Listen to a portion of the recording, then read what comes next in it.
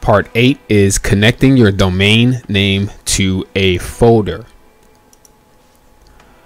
You want to go to the domains section in your 1&1 control panel.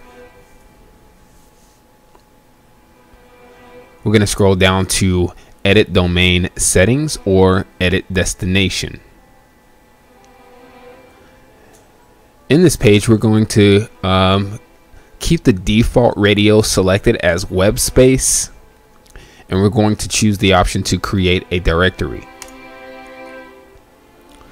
I recommend where it says new node for you to type in the name of your website domain in all lowercase with no spaces or symbols. So in our case, thirdcoastdetailing.com, I would name this folder Third Coast Detailing. So um, if the domain name was memphisentrepreneur.club, I would name this folder Memphis Entrepreneur Club or Entrepreneur Club.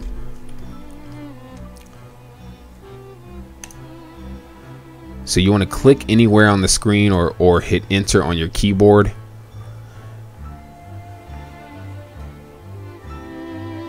says no, the directories created within the domain center cannot be deleted or renamed in the domain center. Are you sure you want to create directory? Click yes. So this means the directory is created. Now it should be highlighted blue as well, which means that the domain name um, is now linked to this directory once you hit save. So we click save, continue, yes. The settings have been successfully updated you can close that light box.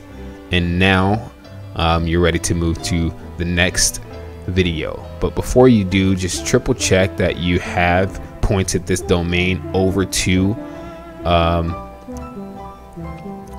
the directory that you created. And you'll see under web space or under the domain row you should see web space colon forward slash the name of the folder that you just created also in the previous video, we set up our SSL certificate. So you should see a green lock icon next to your domain name, which means your SSL has been set up.